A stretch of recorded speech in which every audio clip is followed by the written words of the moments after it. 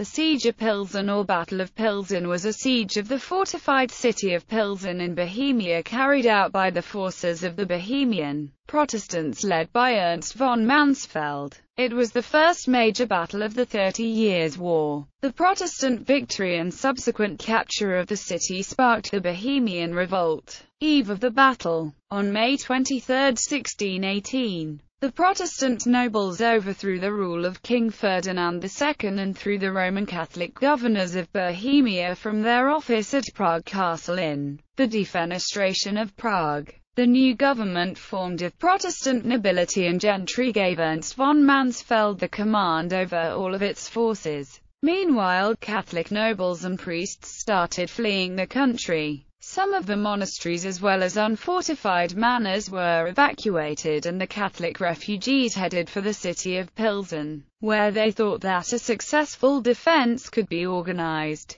The city was well prepared for a lengthy siege, but the defenses were undermanned and the defenders lacked enough gunpowder for their artillery. Mansfeld decided to capture the city before the Catholics were able to gain support from the outside. Siege on September 19, 1618, Mansfeld's army reached the outskirts of the city. The defenders blocked two city gates and the third one was reinforced with additional guards. The Protestant army was too weak to start an all-out assault on the castle, so Mansfeld decided to take the city by hunger. On October 2, the Protestant artillery arrived but the caliber and number of the cannons was small and the bombardment of the city walls brought little effect. The siege continued, with the Protestants receiving new supplies and recruits on a daily basis, while the defenders lacked food and munitions. Also, the main city well was destroyed and the stores of potable water soon depleted.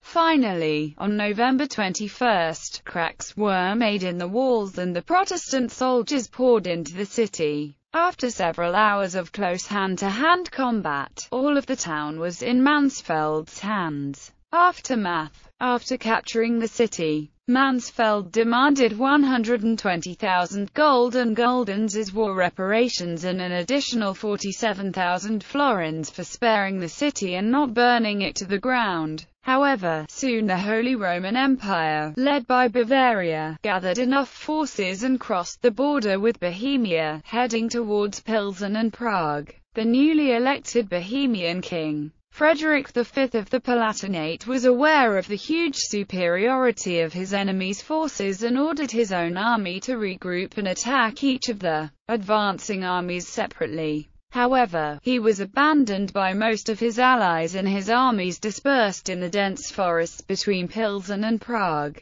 which resulted in a decisive defeat in the Battle of White Mountain.